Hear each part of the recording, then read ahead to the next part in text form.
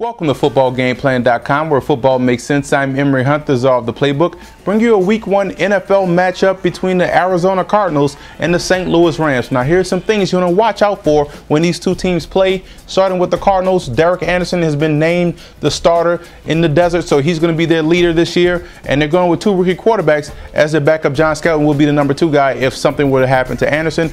But the Cardinals have to come in and establish that passing game. The passing game struggled throughout the preseason because we know they can run the football with Tim Hightower and Beanie Wells, so they're going to be fine running the football. We know they have talented wideouts in Breaston, Fitzgerald, Doucet. They just have to get that passing game in sync with the running game to start the season off on the right foot. Now, defensively, you know the Rams struggle in pass protection, so you want to make sure you put pressure on Bradford. This is his first official NFL start, so it's going to be it's going to be vital for them to get pressure on those left and right tackles to collapse the pocket and force Bradford to get rid of that football quickly. Rodgers-Cromartie looked outstanding in the preseason, so he should be able to lock up whomever the number one target is going to be for the Rams, most likely Keenan Burton. So they're going to force Bradford to spread the ball around to other targets. Now, speaking of the Rams, we know they can run the football with Steven Jackson. We understand that. Interior offensive line play is good for the Rams. Where they lack where their struggle is on their outsides. The two tackles have to improve. You don't want to get your prize possession killed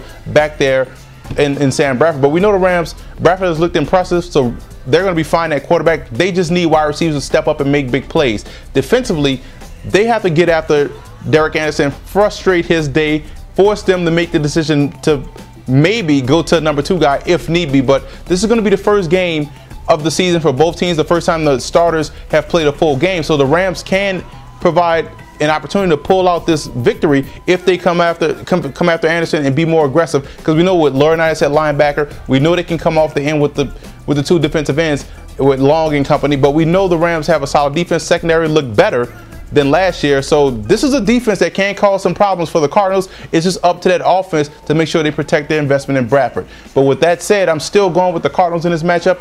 It's a week one game. It's going to be close. Like I said before, starters have this is the first full game, so expect to see a lot of mishaps, false starts, turnovers, holding penalties. So it may be a sloppy game, but don't expect the Cardinals just to come in and walk away with this victory. The Rams will compete and may have an opportunity to pull out this game if a wide receiver steps up and force them to empty out their box, force the Cardinals to empty out their box. But I'm still going with the Arizona Cardinals in this matchup. Right now, their passing game is a little bit further along than the Rams.